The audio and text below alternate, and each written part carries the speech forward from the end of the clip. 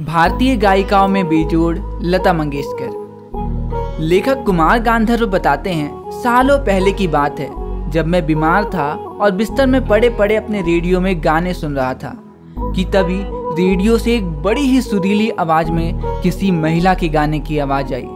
वो स्वर सीधे सीधे मेरे दिल में जाके लगा। मुझे तो समझ ही नहीं आ रहा था कि आखिरकार इतनी सुरीली आवाज़ है तो है किसकी? खैर गाना खत्म होते ही गायिका का नाम घोषित किया गया, लता मंगेशकर। मैंने आज से पहले ये नाम कभी नहीं सुना था।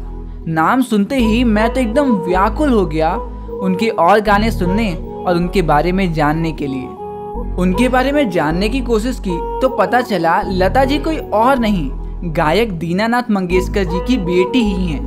और दीनानाथ जी के द्वारा सिखाए गए वो सुर ताल के साथ जब लता जी की कोमल और मधुर आवाज़ मिली तो नूर जहाँ जैसी प्रसिद्ध गायिका भी उनका मुकाबला ना कर पाई। लता मंगेशकर जी के पहले लोग शास्त्रीय संगीत मतलब क्लासिकल म्यूज़िक को ही सुनते और उसे ही गाया करते थे।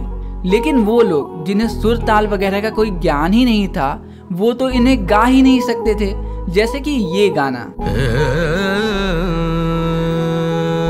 लेकिन लता मंगेशकर जी गाती थी चित्रपट संगीत मतलब फिल्मी सॉन्ग जिन्हें गाने के लिए आपको संगीत के कोई भी ज्ञान की ज़रूरत नहीं है।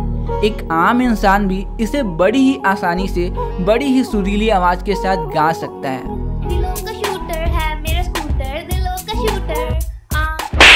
मतलब हाँ फिर भी थोड़ी बहुत सुर ताल तो चाहिए ही चाहिए। और ये बोलना बिल्कुल भी गलत नहीं होगा कि चित्रपट संगीत मतलब फिल्मी सॉन्ग के फ़ेमस होने की सबसे बड़ी वजह खुद लता मंगेशकर जी ही हैं। जब उनकी सुरीली आवाज़ लोगों के कान में पड़ी तो वो लोगों के दिल में एकदम घर कर गई। और पता ही नहीं चला कि कब उन्हें दो दो घंटे के शास्त्रीय संगीत की जगह दो दो मिनट के चित्रपट संगीत से प्यार हो गया। आज उन्हीं की वजह से भारत के कोने कोने में वो बच्चे जिन्हें संगीत का कोई भी ज्ञान नहीं वो बिना सुर ताल सीखे सुरीली आवाज़ में गाना गा पा रहे हैं।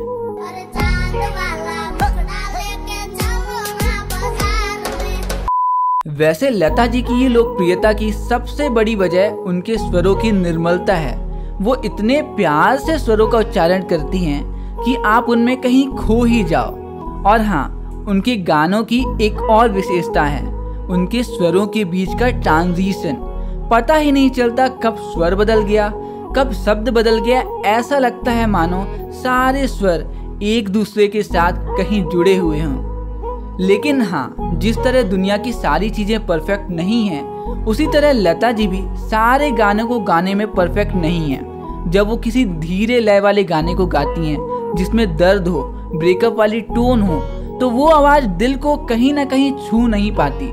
लेकिन हाँ जब वो प्यार से भरे तेज लय वाले गाने को गाती हैं तो उसका क्या ही कहना?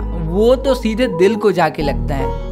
उनके संगीत में एक और छोटी सी कमी है। उनके संगीत आमतौर पे ऊँची पट्टी मतलब हाई एम्पलीट्यूड में गाए जाते हैं। अब पता नहीं ये लता जी की गलती है या गाना गवाने वाले डायरेक्टर्स की, जो उन्हें इतना तेज गाना गवाते हैं। वैसे कुछ लोग मुझसे ये भी पूछते हैं, लता जी तो सिर्फ़ चित्रपट संगीत ही गाती हैं। क्या वो दो दो तीन तीन घंटे वाले शास्त्रीय संगीत मतलब क्लासिकल सॉन्ग भी गा सकती हैं क्या? तो इसका एकमात्र सरल जवाब यही है कि इन्हें आपस में हम कंपेयर ही नहीं कर सकते। चित्रपट संगीत मतलब फिल्मी सॉन्ग में सुर ताल से ज़्यादा लय पे ध्यान दिया जाता है। गाने में सुर ताल हो या ना हो, लेकिन वो दिल को सुनने में बहुत अच्छा लगना चाहिए। और वहीं दूसरी तरफ़ क्लासिकल म्यूज़िक मतलब शास्त्रीय संगीत में लय से ज़्यादा सुर और ताल पे ध्यान दिया जाता है। और चलो माना कि लता जी दो तीन घंटे के शास्त्रीय संगीत ना भी गा पाए तो क्या कोई शास्त्रीय संगीत गाने वाला गायक दो तीन मिनट के चित्रपट संगीत में लता जी जैसे अलग अलग भाव ला सकता है क्या? नहीं ना। और मुझे तो ये लगता है कि ये खानदानी शास्त्रीय संगीत गाने वाले गायकों ने चित्रपट संगीत के बारे में लोगों के कान भर दिए हैं। अरे, असली गाना तो वो है जो दिल को सुकून दे फिर वो दो मिनट का हो या दो घंटे का हो, क्या ही फ़र्क पड़ता है? और वैसे भी, पहले लोग ये तीन चार घंटे के शास्त्रीय संगीत को गा भी नहीं पाते थे। उससे सुर ताल क्या खाक सीखेंगे? लेकिन आज चित्रपट संगीत की वजह से वो लोग जिन्हें संगीत का कोई भी ज्ञान नहीं है, आज पूरे सुर ताल के साथ गाने गा पा रहे हैं। खैर, जो भी हो, लता मंगेशकर जी की तो सिर्फ़ आवाज़ सुनकर ही लोग पागल हो उठते हैं। और उनके गाने कभी पुराने नहीं होंगे। उनकी आवाज़ सिर्फ़ आवाज़ नहीं, एक चमत्कार है, जो हज़ारों साल में एक बार होता है। तो बस, यहीं पे ख़त्म होता है हमारा ये प्यार से चैप्टर। मिलते हैं अगली वीडियो में, अगले चैप्टर के साथ। देखने के लिए प्लेलिस्ट पे क्लिक करें।